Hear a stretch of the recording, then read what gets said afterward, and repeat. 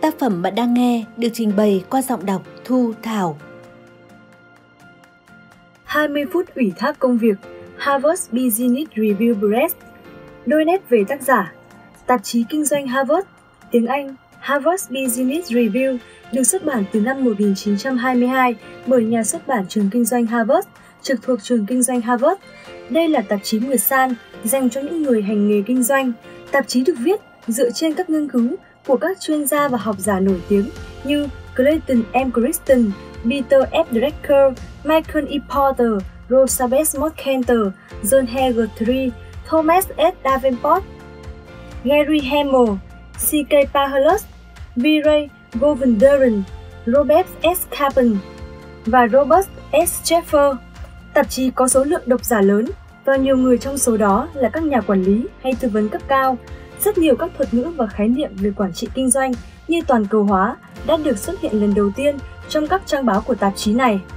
Hiện tại, tổng số lượng ấn bản bằng tiếng Anh của tạp chí vào khoảng 250.000 cuốn. Tạp chí cũng được phát hành bằng 11 ấn bản khác nhau, trong đó có các ấn bản bằng tiếng Trung Quốc, tiếng Ý, tiếng Đức và ấn bản bằng tiếng Anh cho các nước Đông Nam Á. Giới thiệu sách Dù vừa mới được thăng chức hay đã là một nhà lãnh đạo kỳ cựu, bạn vẫn phải có một đội ngũ để dẫn dắt, những mục tiêu để đáp ứng, các ý tưởng để theo đuổi, cùng lòng nhiệt huyết giặt rào. Nhưng bạn không có đủ thời gian do quá tải với lượng công việc mà chỉ có bạn mới có thể xử lý. Nên dường như bạn không bao giờ hoàn thành được các kế hoạch dài hạn, huấn luyện nhân viên hay hoàn thiện công việc quản lý cấp cao mà bạn mong muốn thực hiện. Bạn không thể cộng thêm vài giờ đồng hồ vào thời gian trong ngày. Tuy nhiên, nếu cải thiện kỹ năng ủy thác công việc, bạn có thể tận dụng hầu như toàn bộ số giờ sẵn có. Nếu ủy thác hiệu quả hơn, bạn sẽ giành được những lợi ích to lớn cho chính bản thân, đội ngũ và tổ chức của mình thông qua việc cải thiện năng suất, giảm áp lực, nâng cao kỹ năng cũng như khích lệ tinh thần và động lực cho nhân viên. Cuốn sách này sẽ hướng dẫn bạn cách tạo ra môi trường thúc đẩy ủy thác thành công, vượt qua những lo lắng khi ủy thác, biết việc gì nên và không nên ủy thác, biết kết hợp kỹ năng và niềm hứng thú với nhiệm vụ được ủy thác, hỗ trợ và giám sát ở mức độ phù hợp, truyền đạt những điều bạn biết về cách ủy thác thành công cho người khác. Mục lục, Lời giới thiệu, Tại sao phải ủy thác? Xây dựng nền tảng để ủy thác hiệu quả. Chuẩn bị ủy thác, Phân công nhiệm vụ, Giám sát nhiệm vụ được giao, Xem xét lại quy trình, Tìm hiểu thêm Nguồn Nội dung, Tại sao phải ủy thác? Bạn có nhận ra trách nhiệm và khối lượng công việc gia tăng đang ngày càng vượt quá lượng thời gian sẵn có của mình? Bạn có đang tốn quá nhiều thời gian trong ngày để hoàn thành những công việc dưới ngưỡng năng lực và thẩm quyền của mình như cập nhật dự án hay thu thập thông tin về khách hàng mới, tức công việc mà các thành viên khác trong nhóm có thể thực hiện? Bạn có mất đi khả năng theo đuổi những mục tiêu cao hơn, chẳng hạn như phân tích các đòi hỏi về nguồn lực cho phòng ban trong ngắn hạn và dài hạn, tiến hành các chương trình tập huấn cho nhân viên mới hay đề ra hướng cải tiến quy trình nhằm rút ngắn thời lượng của quy trình đặt hàng. Ủy thác, tức là giao phó các nhiệm vụ, dự án hay chức năng hoạt động cho người khác, có thể giúp bạn tiết kiệm thời gian cần thiết và cho phép bạn phát triển kỹ năng lãnh đạo của mình, đồng thời cải thiện năng suất của tổ chức và tạo cho cơ hội nhân viên mở rộng kỹ năng.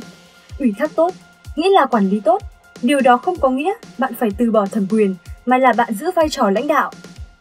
Khi đánh giá lại mục đích và lợi ích của việc ủy thác, Hãy nhớ rằng chúng không chỉ là thành quả của riêng bạn, mà còn mang đến lợi ích thiết thực cho nhân viên và tổ chức của bạn. Xây dựng nền tảng để ủy thác hiệu quả.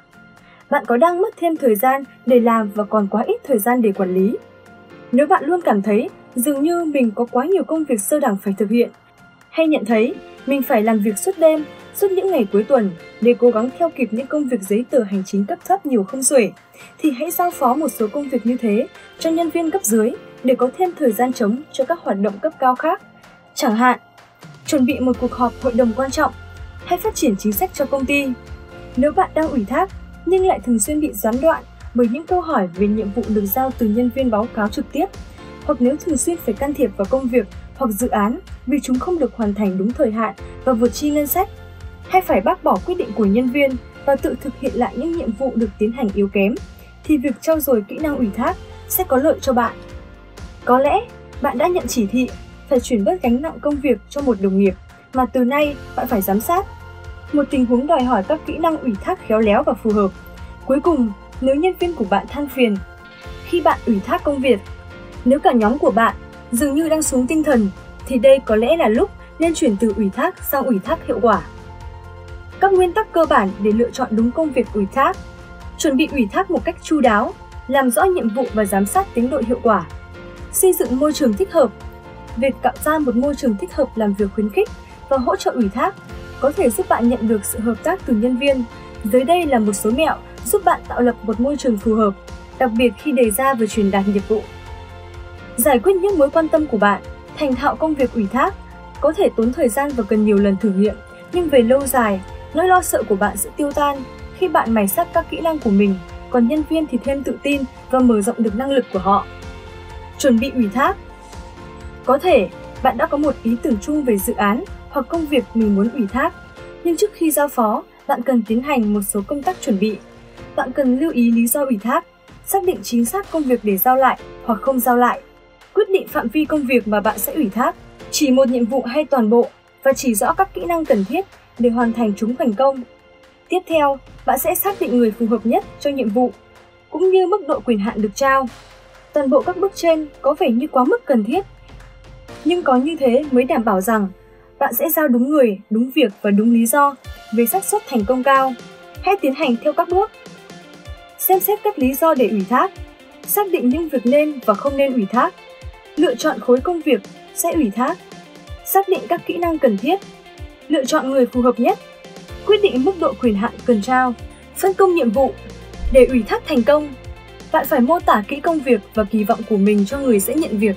Hay lấy ý kiến của nhân viên khi bạn trao đổi về phạm vi và quyền hạn của nhiệm vụ để chắc rằng bạn đang chuyển giao mọi thông tin cần thiết. Điều quan trọng không kém đối với thành công của công việc được ủy thác là truyền đạt phạm vi và quyền hạn của nhiệm vụ cho các thành viên khác trong nhóm tốt như thế nào. Thảo luận về công việc với nhân viên Hãy dành chút thời gian lướt qua các chi tiết của công việc. Lý tưởng nhất là thông qua một cuộc họp trực tiếp để đạt được sự tin tưởng và tránh hiểu lầm. Hãy thảo luận về mọi khía cạnh của công việc. Hãy làm rõ những kỳ vọng cụ thể của bạn và đảm bảo sự cam kết của nhân viên đối với dự án. Trao đổi với đội ngũ của bạn. Đầu tiên, hãy trao đổi với nhóm về phạm vi của nhiệm vụ được giao cùng mọi thông tin liên quan khác. Thông điệp rõ ràng và minh bạch của bạn sẽ giúp tránh được sự bất mãn và ganh đua từ một bộ phận nhân viên khác. Thái độ thảo luận thẳng thắn và cởi mở sẽ giúp họ hình thành niềm tin ở bạn. Giám sát nhiệm vụ được giao Một khi đã ủy thác công việc, hãy chuyển sang chế độ giám sát để đảm bảo mọi thứ diễn ra đúng dự tính. Đừng cứ đinh ninh rằng mọi thứ đều tiến triển tốt cho đến khi bạn hay biết về những vấn đề khác. Bạn sẽ muốn kiểm tra xem công việc đang tiến triển như thế nào, hỗ trợ nếu cần thiết, lương chức và giải quyết bất kỳ vấn đề nào mà không do dự hay sốt ruột. Theo dõi nhiệm vụ được ủy thác Hãy thường xuyên kiểm tra tiến độ để đảm bảo công việc đang trên đà hoàn thành một cách chính xác và kịp thời. Cung cấp sự hỗ trợ Trong quá trình theo dõi nhiệm vụ, hãy tiếp tục hỗ trợ nhưng đừng dấn quá sâu. Tiên liệu và giải quyết vấn đề Hãy cảnh giác với những dấu hiệu ban đầu của vấn đề. Xem xét lại quy trình. Hãy áp dụng những gì bạn học được từ mỗi lần ủy thác để nâng cao hiệu quả khi phân công nhiệm vụ cho nhân viên của bạn và những thành viên khác, cũng như hướng dẫn lại kỹ năng ủy thác cho các đồng nghiệp đánh giá các nhiệm vụ đã hoàn thành. Hãy dành thời gian suy ngẫm về những việc đã làm và chưa làm, hay ghi chú những điều bạn sẽ làm khác đi trong lần ủy thác sau. Tiếp đến, hãy xếp lịch trao đổi ngắn với người mà bạn đã ủy thác và xem lại những bài học rút ra được từ nhiệm vụ đã giao. Cuối cùng, hãy thực hiện các bước trên để đảm bảo người mà bạn ủy thác có được sự công nhận không chỉ từ bạn mà còn từ những người khác được hưởng lợi từ thành công của dự án, bao gồm đồng nghiệp, quản lý và các thành viên trong nhóm hỗ trợ dạy người khác kỹ năng ủy thác. Hãy cân nhắc xem bạn nên chia sẻ các kỹ năng ủy thác đã học như thế nào với các trưởng nhóm khác trong đơn vị hoặc bộ phận của mình, cụ thể là các quản lý mới nhậm chức. Những gợi ý sau có thể giúp bạn tăng cường kỹ năng ủy thác trong tổ chức. Nêu gương, khuyến khích sự mạo hiểm, xác định việc gì có thể ủy thác. Khi trở thành người ủy thác thành thạo, bạn có thể nâng cao hiệu quả quản lý của mình, mở ra các cơ hội phát triển cho nhân viên và làm lợi cho tổ chức. Hãy học hỏi thêm kiến thức về ủy thác và tiếp tục mài sắc kỹ năng của mình.